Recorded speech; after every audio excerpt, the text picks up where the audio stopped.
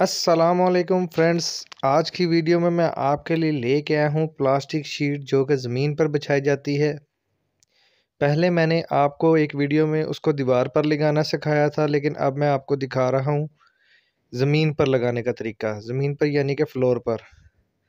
तो ये ग्लू आपने देख लिया है, जो कि पिक्चर में मैंने आपको दिखाया है। इसको हम अपने फ्लोर पर ऐसे बिछा देंगे। इसको अच्छे तरीके से बिछाएँगे आप चाहें तो इसमें थोड़ा सा पानी भी मिक्स कर सकते हैं, लेकिन मेरे जगह थोड़ी थी तो इसलिए मैंने इसको डायरेक्टली ही अप्लाई कर दिया है। क्योंकि ये नमी में खुद ब खुद ही पक्का और मज़बूत होता जाएगा। तो आप देख लें, ये हमने फ्लोर पर इसको अच्छे तरीके से लगा दिया है। हम इस पर प्लास्टिक शीट अप्लाई करेंगे। इसका फ़ायदा ये होगा कि प्लास्टिक शीट अपनी जगह से खिसकेगी नहीं और इधर उधर नहीं जाएगी। तो अब हम इसकी शीट की कटिंग करेंगे, क्योंकि शीट हम ले आ चुके हैं। तो अब इसको कटिंग करेंगे। शीट कटिंग करने के लिए आपको कोई भी ब्लेड वगैरह की ज़रूरत नहीं है। आपने अपनी शीट की पमाइश कर लेनी है।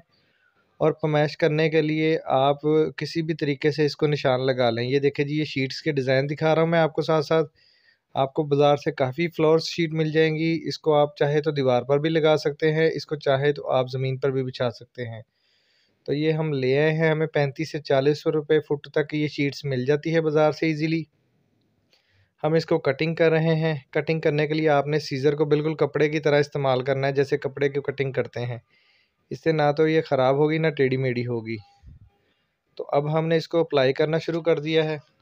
तो आप इसको इजीली अप्लाई करें, क्योंकि इसके नीचे हमने ग्लू अप्लाई कर दिया है। पीसीआई का ग्लू जो कि बहुत ही अच्छा और मज़बूत होता है, उसको लगाने का फ़ायदा ये है, एक तो इसकी बबलिंग खुद ब खुद ख़त्म हो जाएगी, क्योंकि ये हम फ्लोर पर बिछा रहे हैं।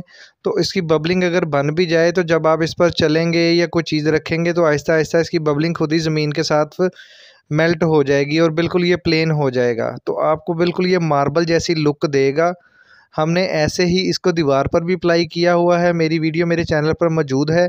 मेरे चैनल पर आपको बहुत सारी आपकी आल्टरनेटिव वीडियोस मिल जाएँगी, जिसमें आपको दीवारों के हल और उन पर सस्ता जुगाड़ किस तरीके से लगाया जाता है, वो सारी वीडियो आपको मेरे चैनल पर मिलेगी। ये एक शेल्फ़ नुमा जो कि जगह है। आप चाहें तो इसको किचन की शेल्फ़ पर टीवी या किसी भी अलमारी के शेल्फ़ पर भी बिछा सकते हैं। तो आपको बिछाने का तरीका यही होगा। आप इसको इजीली बिछा सकते हैं। किचन की शेल्फ पर भी ये साफ़ तरीके से लगाई जा सकती है। करूँगा ये देखे जी, मैं फ्लोर पर ये शीट बिछा रहा हूँ।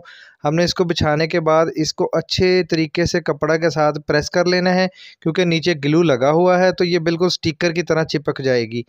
तो बाज़ अवत पहले लोग ये करते थे कि फ्लोर शीट लाते थे, उसको इजीली बिछा लेते थे, लेकिन वो बाद में या तो खिसक जाती थी या कहीं ना कहीं से ऊपर को उबर कर फट जाती थी।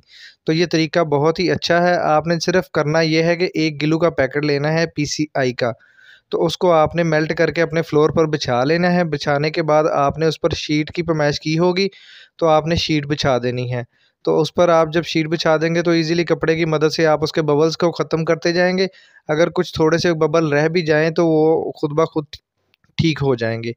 तो ये देखें जी आपको शीट लगाने का तरीका और मेरी काफ़ी वीडियोस आपको प्लास्टिक शीट वॉलपेपर या गिफ्ट पेपर पर मिलेंगी वॉल ग्रेस पर भी मिलेंगी तो प्लीज़ मेरे चैनल को सब्सक्राइब कर लें। वीडियो अच्छी लगी तो वीडियो को लाइक और कमेंट ज़रूर किया करें। तो ये देखें, ये एक सिंपल फ्लोर था जिसको मतलब आप कह रहे हैं कि सीमेंट वाला फ़र्श था। तो उसको लुक देने के लिए हमने उस पर मार्बल कलर की ये प्लास्टिक शीट बिछा दी है।